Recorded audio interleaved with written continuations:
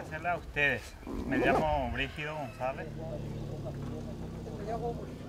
El resultado es que The result of the clashes is that Lugo was ousted, but we have a neutral position, neither in favor or against. What we ask for is justice.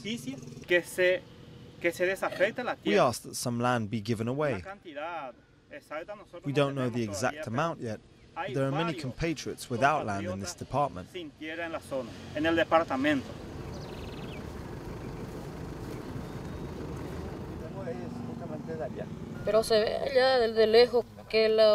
You could see from far away the helicopters and the policemen entering the field, and us family members could do nothing to save the lives of our brothers. salvarle la vida a nuestros hermanos. No hay dinero para comprar.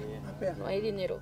There is no money to buy land because what we produce in our small parcels is not enough to buy land.